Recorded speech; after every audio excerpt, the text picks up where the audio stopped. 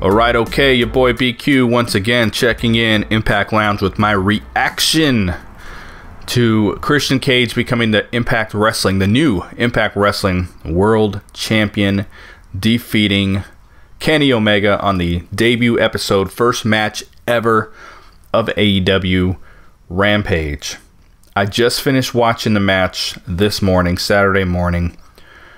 I stayed off social media all night so this wouldn't be I shouldn't say spoiled because if it happens live and you miss it that's just your fault, right? But I didn't want to know who won. And I think those who had messaged me and texted me did a very good job of not letting me know that. And then I wake up this morning at 6 a.m. I'm a pretty early riser. I like to attack my day even even when I'm off. Uh, I wake up at 6 a.m. and being half asleep – I went to Facebook right away and saw that uh, that Christian Cage won this match.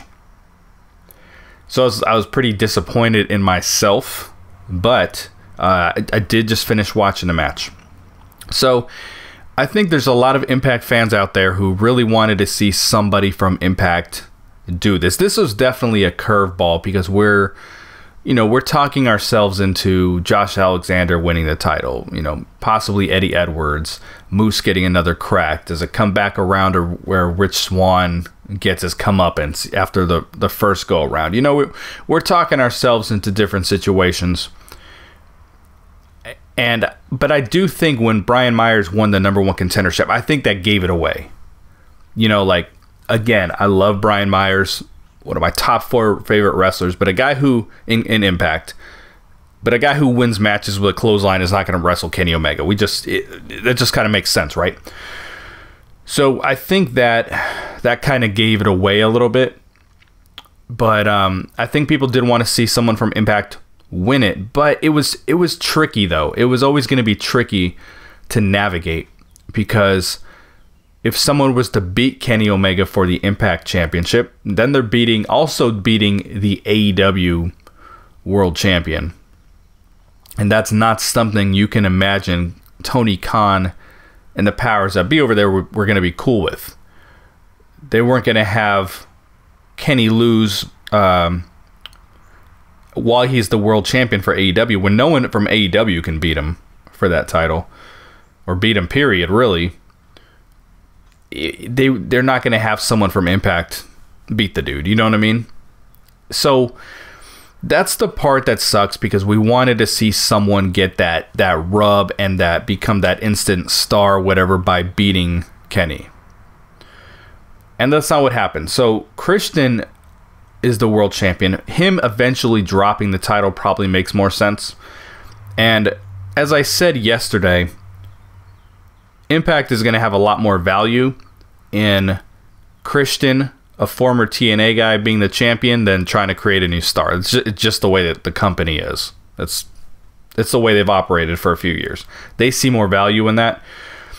But I also think it, it's going to mean a few more eyeballs and a little more optimism and excitement for the weekly show.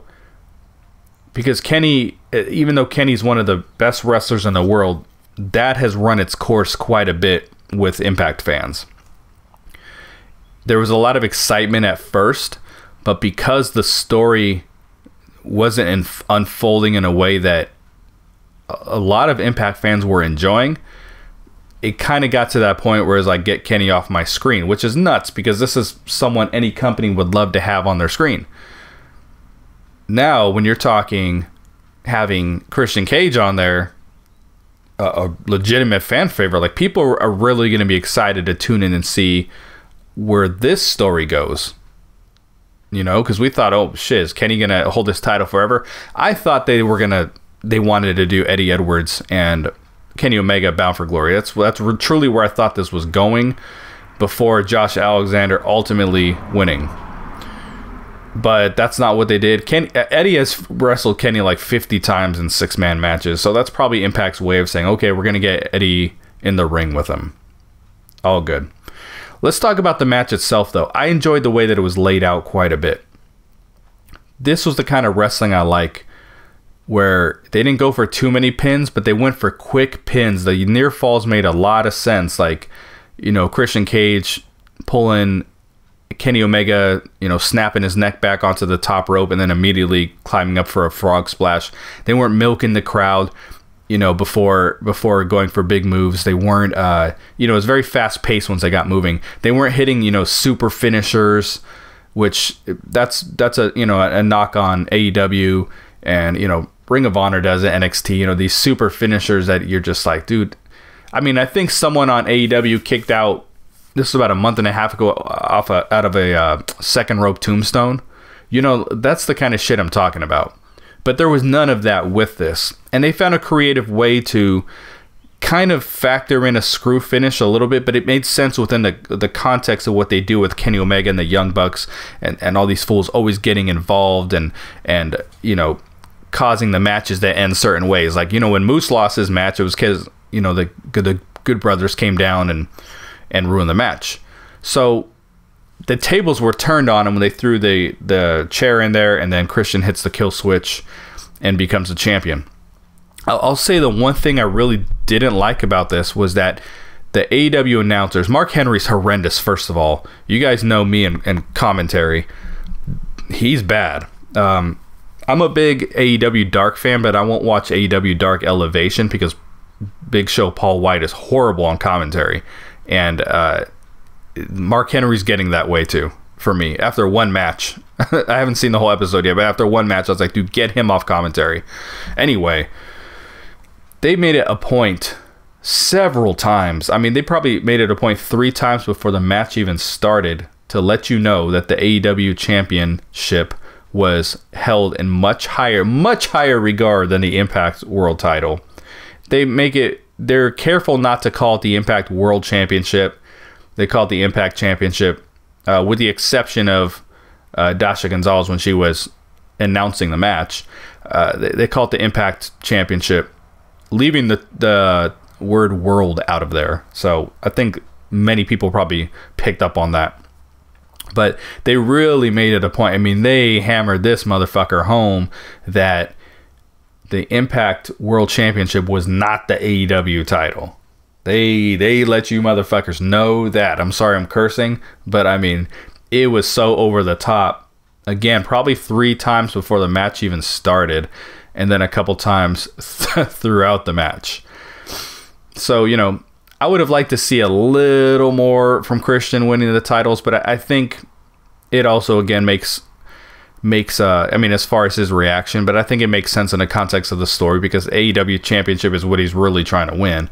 But this was a good way of getting the titles off Kenny. It's just unfortunate that someone from Impact couldn't get that rub and they're not going to get that rub because beating Christian Cage is not the same as beating Kenny Omega. It just isn't. We got great matches from Kenny and that was cool.